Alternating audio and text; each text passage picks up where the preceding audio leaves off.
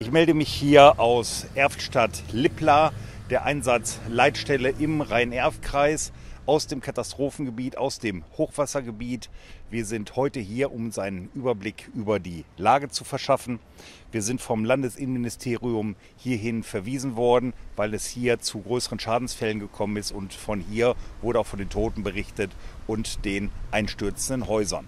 Ja, wir können ja im Moment feststellen, dass Unwetterlagen ähm, instrumentalisiert werden, auch politisch instrumentalisiert werden. Dabei möchte ich einfach mal daran erinnern, dass es häufiger Katastrophenfälle gibt. 1967 das Werratal-Hochwasser, 1993 das Rhein-Hochwasser, 2002 das Elbe-Hochwasser, 2007 hatten wir den Kurill-Orkan und 2014, wir erinnern uns noch dran, das große Pfingstunwetter.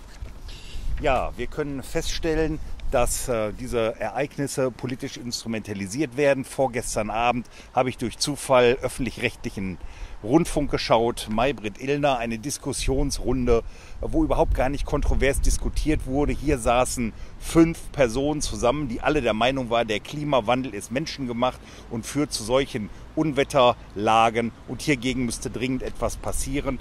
Dem ist natürlich nicht so und ähm, ich habe irgendwann auf, resigniert ausgeschaltet, wenn ein Karl Lauterbach über äh, Wetter und Klima spricht, ein Dr. Eckhard Hirschhausen, der äh, sektenhaft damit beschäftigt war, den Zuschauern äh, klarzumachen, dass er felsenfest davon überzeugt ist, dass der Klimawandel menschengemacht ist. Ich sage dazu nur, ähm, das, was wir jetzt sehen, ist Wetter. Es gibt auch ein Klima, das Klima ändert sich, aber ob dieser Klimawandel menschengemacht ist, wage ich stark zu bezweifeln. Wir sind aber erstmal hier, um uns einen Überblick über die Lage zu verschaffen. So, wir stehen jetzt hier in Erftstadt-Blessem an der Bundesstraße 265 und wenn wir hinter uns mal gucken, die ist voll mit Schlamm bedeckt, da laufen die Bergungsarbeiten noch und man sieht, dass teilweise in einer Höhe von 5, 6 Meter noch äh, Styropor liegt. Das heißt, der Wasserstand war hier noch deutlich höher.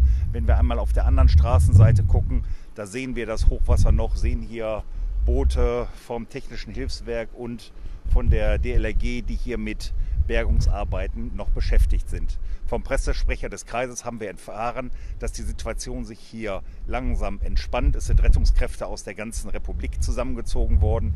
Der Ort, in dem wir jetzt hier sind, ähm, ist komplett gesperrt, evakuiert. Hier patrouillieren Polizei und Militär. Die, der Bezirk ist komplett abgesperrt. Wir fahren jetzt gleich weiter einmal zu der Abbruchkante, wo hier Häuser im Schlamm versunken sind. Wir verschaffen uns hier gerade einen Überblick über diese Situation. Es ist schon gespenstisch, gespenstisch, was hier passiert ist. So, wir stehen jetzt hier an der Abbruchkante. Wenn wir hinter uns gucken, hier sind Häuser versunken. Da hinten floss die Erft.